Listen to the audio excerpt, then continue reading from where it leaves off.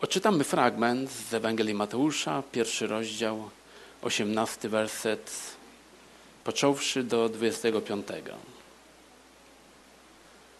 A z narodzeniem Jezusa Chrystusa było tak.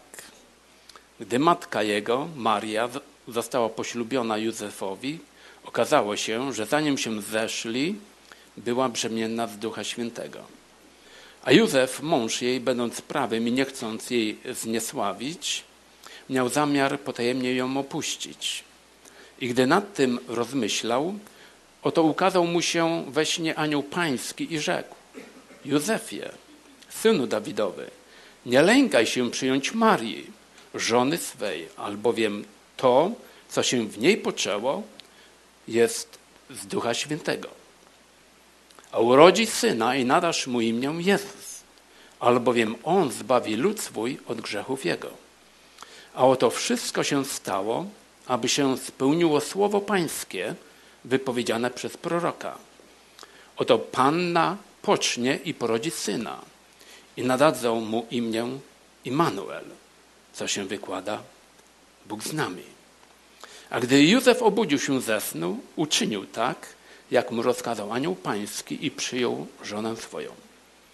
Ale nie obcował z nią, dopóki nie powiła syna. I nadał mu imię Jezus. Myślę, że w dużo kościołach dzisiaj czytany jest ten fragment lub z Ewangelii Łukasza, a może z innych miejsc, a nawet i w Starym Testamencie jest wspomniane coś o przyjściu Bożego Syna. I to jest wspaniale, że my w to wierzymy. To jest wspaniale, że my z tego się cieszymy. I to jest wspaniale, że z tego powodu my jesteśmy tutaj.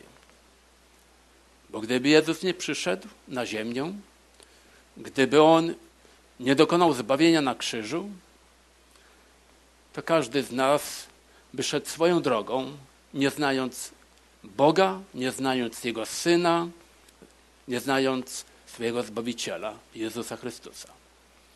A więc dzięki Bogu, że jednak Bóg dał się nam poznać, że posłał On swojego Syna, że Jego Syn swoją miłością przygarnął nas do siebie i dał się nam poznać jako Pan, jako Król, jako nasz Zbawiciel, jako jedyny Zbawiciel. Wierzymy tak? Jesteśmy Bogu wdzięczni za to? Jeżeli ktoś jeszcze ma wątpliwości, a więc dzisiaj Jezus może być Twoim Panem, osobistym Zbawicielem, dlatego że jeszcze czas łaski trwa. Halleluja. Ale dzisiaj będę mówił na bardzo, można powiedzieć, niezrozumiany temat. A mianowicie biblijne ustosunkowanie się do świąt Bożego Narodzenia. I ktoś z Was może pomyśleć, cóż w tym jest niezrozumianego? Wyznam Wam, że bardzo wiele. I powiem jeszcze więcej, że większość chrześcijan nie rozumie albo nie do końca rozumie. A nawet niektóre rzeczy są zmieszane, są niebiblijne podczas tego święta. I chciałbym z mojego serca, z mojej miłości do Was, tym się podzielić, co dzisiaj wierzę, że mam z Bożego Ducha w moim wnętrzu, w moim sercu dość trudne niektóre myśli, ale wierzę, że mam je przekazać. I przygotowując to kazanie związane z nadchodzącym świętem Bożego Narodzenia, wyznaję przed Wami, że wiele czasu poświęciłem w tym celu, aby upewnić się, o czym dzisiaj chcę mówić. I czym bliżej było do dzisiejszego dnia, tym bardziej kazanie moje się zmieniało.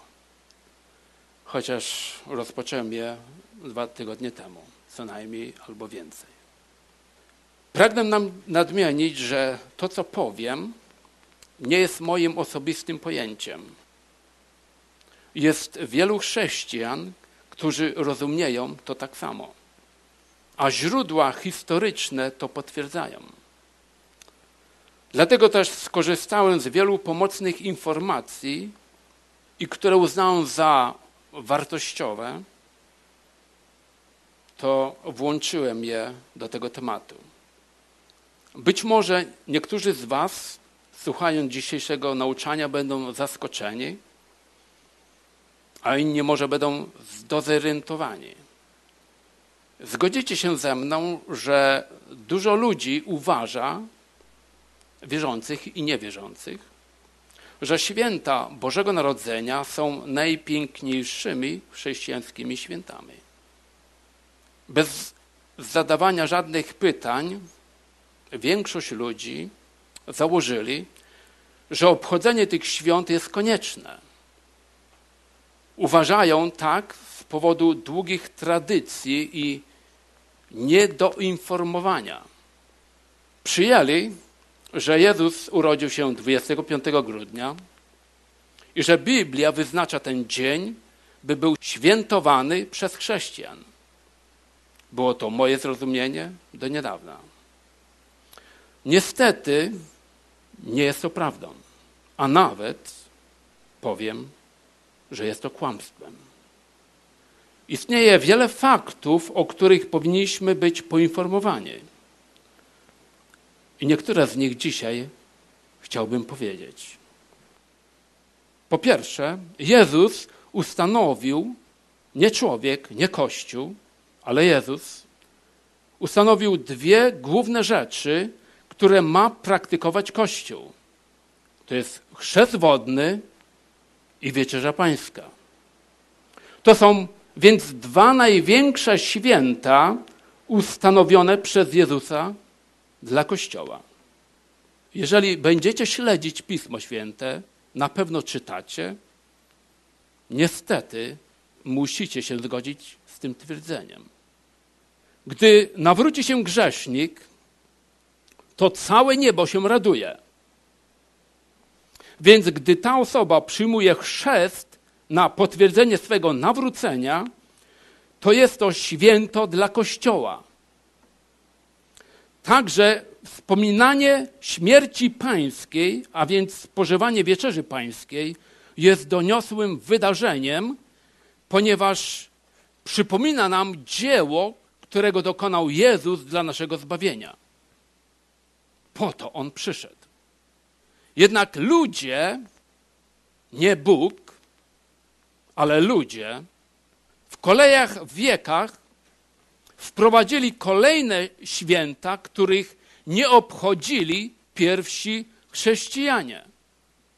Na przykład Wielkanoc, Boże Narodzenie, wszystkich świętych, święta maryjne, Boże Ciało, Trzech Króli oraz święta związane z kultem tak zwanych świętych i imieninami jak walentynki, barbówki, Andrzejki, Katarzynki, Mikołajki, Szczepana, Sylwestra i tak potem.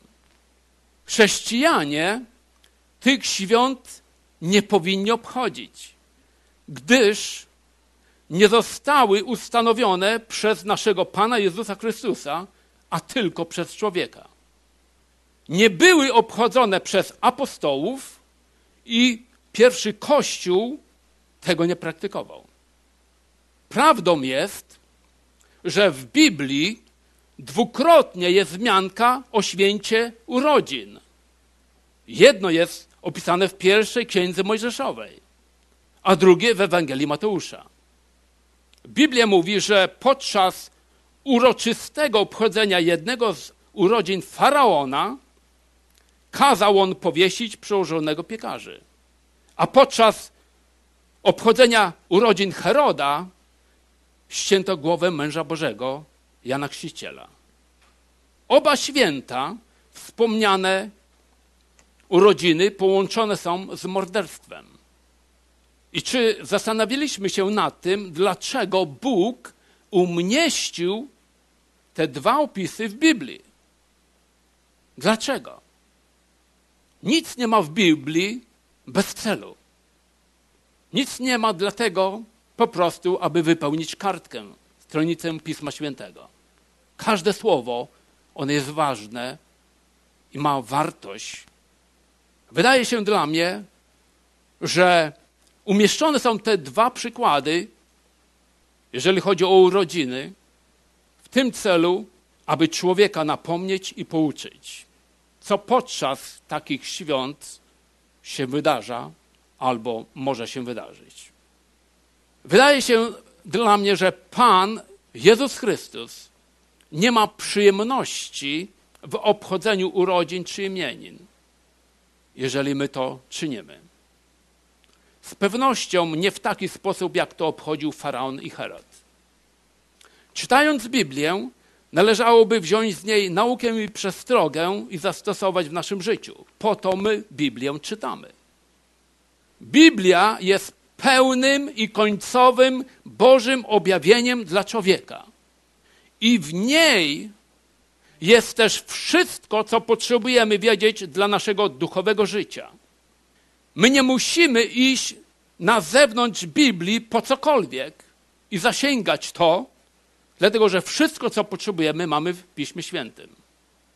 Boże Słowo mówi nam, jak mamy pokłaniać się Bogu, jak obchodzić wieczerzę pańską, jak ewangelizować zgubione masy czy grzesznych ludzi, jak ofiarować zarobione pieniądze, aby podtrzymać pracę pańską i wszystkie inne rzeczy odnoszące się do chrześcijańskiego życia. O tym wszystkim Pismo Święte, Biblia nas informuje. Ale nie informuje o tych świętach, które na początku ja wymieniłem. Ani razu w Biblii Bóg nie porucza nam obchodzenia święta Bożego Narodzenia. Wertujcie Biblię od początku do końca i od końca do początku. Ani razu, ani jedno miejsce nie znajdziecie. Jest nam powiedziane, abyśmy pamiętali śmierć pańską, ale nigdzie w Nowym Testamencie nie znachodzimy nakazu ani Jezusa, ani apostołów, abyśmy obchodzili urodziny Jezusa. Gdyby Jezus pragnął, abyśmy to czynili, to na pewno On by nam to nakazał w swoim słowie. Jak i kiedy obchodzić to święto. Poinformował nas, jak mamy obchodzić wieczerzę pańską.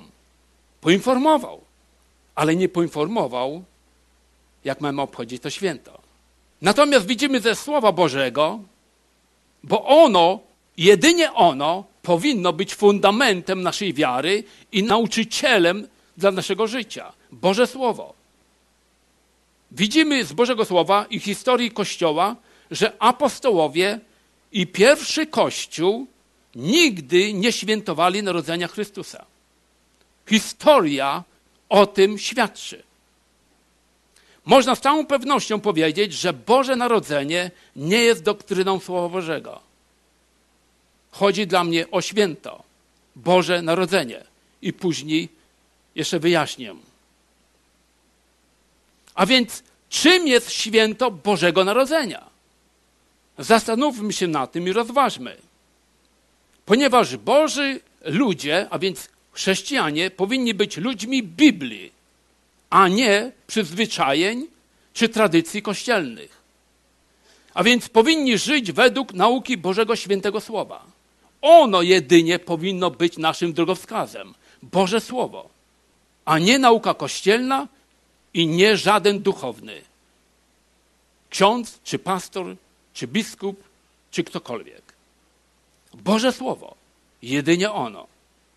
I tak sam fakt, że świętowanie Bożego Narodzenia nie jest nigdzie wspomniane w Biblii, to jest to dla nas dostatecznym dowodem, powinno być dostatecznym dowodem, aby z tym nie mieć nic do czynienia. A to jeszcze nie wszystko. Czy wiecie skąd pochodzi to święto? Na pewno nie od Boga. To jest pogańskim świętem. Nimrod, Nimrod, wnuk Hama, jeden z synów Noego, był prawdziwym propagatorem babilońskiego systemu, który w czasie życia opanował świat. Był to ustrój zorganizowanej konkurencji bazującej na wytwarzającym korzyści systemie ekonomicznym. Nimrod zbudował wieżę Babel, starożytną Niwełem,